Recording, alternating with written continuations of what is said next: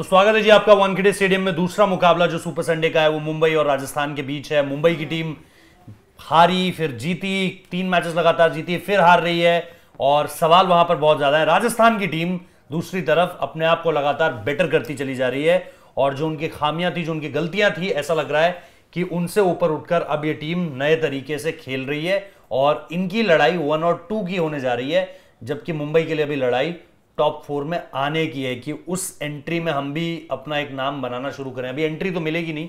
इसी बारे में बात करेंगे। सबसे पहले मुंबई को लेकर के भाई आकाश, क्या लग रहा है? कहाँ पर दिक्कत लग रही है? और क्या राजस्थान के अगेंस्ट आज सीधे तौर पर कहा जाए तो मतलब हैंड्स डाउन एक कह सकते हैं राजस्थान सिंपली फेवरेट्स इस गेम को जीतने के लिए। डेफिनेटली जिस फॉर्म में वो चल रहे हैं और वानखेड़े में हमें पता है कि जो टीम कम खराब देखो आपको पता है कि वानखेड़े में भैया पिटाई तो होती है बॉलर्स की हम्म। लेकिन जो बॉलिंग बैटर होती है वो कम वहाँ पर रन्स खाएगी और डेफिनेटली आप आरआर की जो बॉलिंग अटैक है आप उसको बैक करोगे कि भाई वो कम से कम वहाँ पर कंटेन तो कर ही देगा अगर विकेट भी ना ले पाई तो हम्म। और वो इनफ होता है वानखेड़े में स्पेशली जब आपके पास बैटिंग उस तरीके की हो अभी तक जॉस बटलर के हमने देखा है पिछले कुछ आउटिंग उस तरीके की नहीं आई है लेकिन मुझे ऐसा लग रहा है जॉस बटलर का तूफ़ान आने वाला है वानखेड़े में तो वो आपको रोकना पड़ेगा और मुंबई की बॉलिंग बहुत ज़बरदस्त तरीके से टेस्ट होने वाली है बैटिंग पर उनके आपको भरोसा है लेकिन still they have to compete against a quality fast bowling attack जो हम बात करते हैं बोल्ट आई थिंक खेलने चाहिए वानखेड़े में। वहाँ पे आपको जैम्पा नहीं नज़र आने चाहिए क्योंकि आपको पता है कि स्पिन आपके आपके पास दो ही ठीक है होल्डर है आपके पास सैंडी है आपके पास और इंडियन बॉलर है फिर आपके पास UG Ashwin too much quality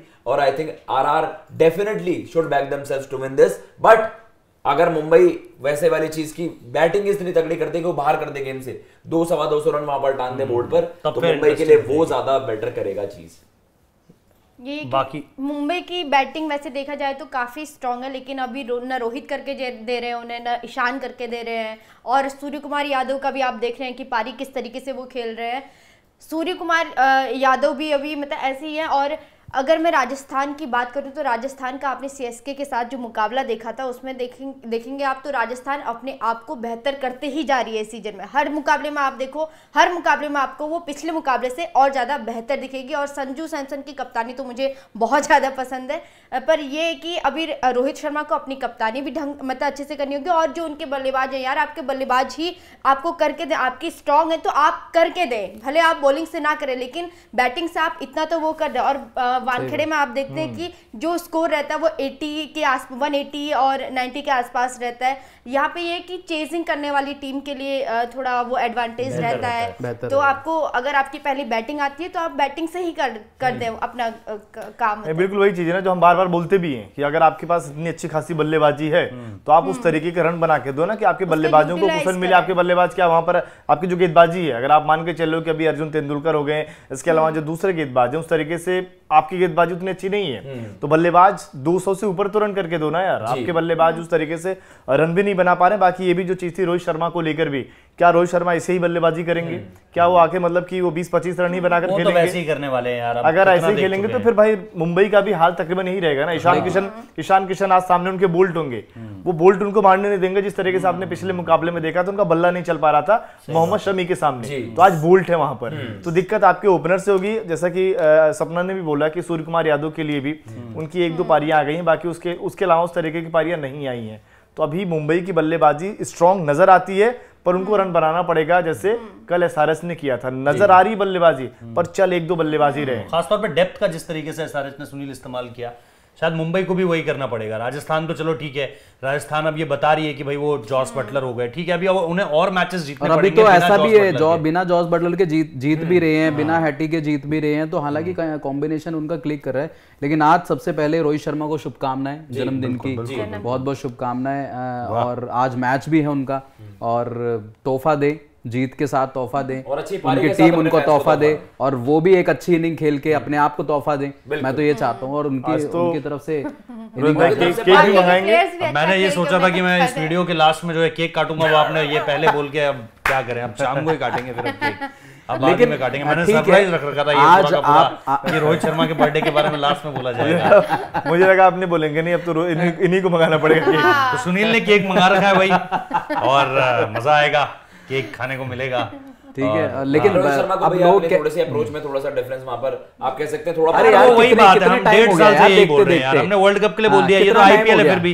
ये इतनी प्रायोरिटी थोड़ी है जितना वर्ल्ड कप था क्यों realize अरे की टू बिगर बैट्समैन हो गया कर दिया खुद ही ध्यान नहीं कर दिया। अब भाई आप अब डेढ़ दो साल से देख तो रहे हैं भाई आप टू बिगर टू बिगर बोल के कब तक यही बोलते रहोगे? अब उन्हें खुद देखना पड़ेगा भाई कि सामने वाला रिस्क ले और अगर मैं अपनी इनिंग्स को बिल्ड कर कर खेलूं तो ठीक है।